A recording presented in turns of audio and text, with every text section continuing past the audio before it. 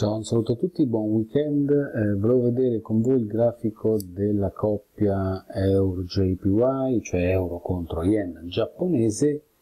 eh, perché la situazione, se noi la andiamo a vedere su questo time frame daily, qui è un grafico pulito, nel senso anche tolto le medie, quindi lavoriamo veramente solamente sui livelli, quello che vediamo è che secondo me al di là della rottura eh, dei 125 che poi è stato testato per due volte e poi si è avuto una ripartenza del prezzo, adesso la situazione non è molto chiara. Non è molto chiara perché c'è nel breve un trend rialzista, nel medio periodo ecco, vediamo che eh, sopra i 125 si è toccato poi i 137, ma sembra più che mh, mm, si sia in un trading range. Eh, questo massimo eh, possiamo dire che era stato eh, rotto, eccoci qua, e adesso è, è stato retestato. Eh, ma comunque non è una situazione estremamente chiara, anche perché abbiamo poi una serie di resistenze, ehm, eccoci qua, subito poco sopra i massimi precedenti, massimi che hanno anche lasciato una candela di stampo ribassista e poi un pattern engulfing, e in ogni caso poi avremo un'altra serie di massimi, quindi sul daily è una situazione non, non molto chiara. Eh, passando sul weekly, anche qui la situazione non è chiarissima, ossia si vede chiaramente, eccoci nell'ultimo periodo, il trend rialzista, ma eh, quello che avevamo visto prima chiaramente ovviamente lo rivediamo anche sul day, sul weekly, una resistenza molto vicino, e ehm, quindi non è estremamente semplice andare a individuare eh, un ingresso. Un ingresso o comunque un ingresso chiaro anche dettato da una candela, visto che l'ultima settimana abbiamo eh, una doji, quindi una candela di incertezza. Avendo però mh, chiuso contestualmente, come ho detto in un video, anche il mese,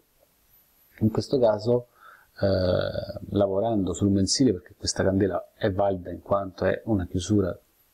del mese perché oggi è il 29 di settembre, eh, possiamo andare a eh, vedere come vi siano invece degli indizi e che ci possono dare degli spunti su, su quello che possiamo aspe aspettarci. In primo livello, su questo livello, 3 4, 5 volte un test. Duplicando la linea vediamo che eh, si, si, è formato un canale, qui abbiamo avuto ehm, questo test quindi questa linea ha una dinamica, una resistenza chiarissima, qui è stata rotta e qui è stata retestata, ma se andiamo ancora un'altra volta a duplicarla vediamo come in maniera molto precisa, eccoci qua, ci vada a segnalare, abbiamo avuto anche con un minimo di tolleranza possiamo definirlo un test, ci vado a segnalare che è nel lungo periodo una serie di massimi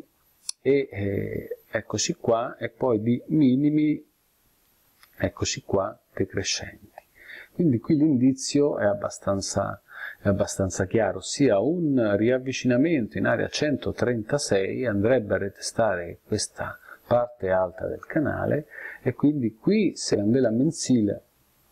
dovesse lasciare un pattern o essere una candela ribassista, sicuramente ci darebbe un indizio importante per un trade, peraltro anche di medio-lungo periodo, per andare a prendere una parte importante eh, di spazio grafico e quindi anche di tempo nella discesa. Per cui, ecco, come ho già detto, utilizziamo questo fine settimana per cercare anche, e soprattutto sul mensile, essendo una candela chiusa settimanale, una candela chiusa anche mensile, per andare a cercare eh, di capire, diciamo, eh, se non proprio di impostare trade, ma di capire il sottostante esaminato effettivamente che cosa ci offre. Buon weekend a tutti!